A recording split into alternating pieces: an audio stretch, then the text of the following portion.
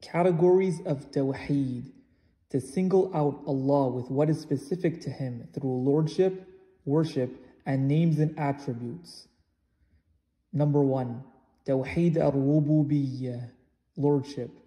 To single out Allah in His actions, creation, ownership, and sovereignty. Number two, Tawheed al-Uluhiyyah, worship.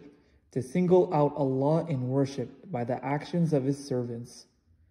Number three, Tawheed al-Asma wal-Sifat, to single out Allah in all His names and attributes, to single out Allah with what He has named or described Himself in His book, the Quran, or by the speech of His Messenger, sallallahu alaihi wasallam, and that is to affirm what He has affirmed to Himself and to negate what He has negated for Himself, without distortion, rejection, questioning the howness, or falling in resemblance.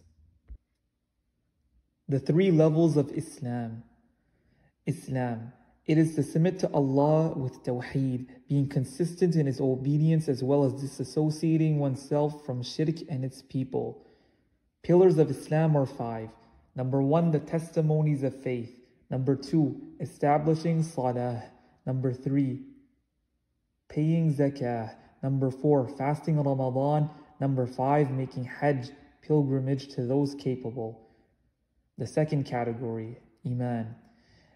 It is speech of the tongue, belief of the heart, actions of the limbs, and it increases and decreases.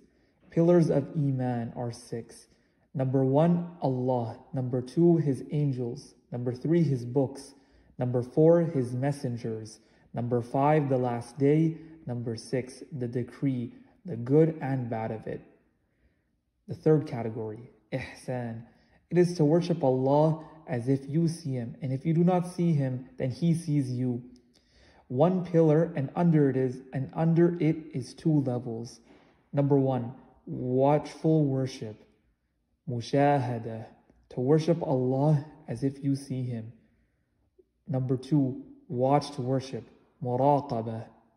If you do not see him, then he sees you. Four categories of prohibitions. Number one, major shirk. It makes the person leave the fold of Islam, and he shall not be forgiven if he dies upon it.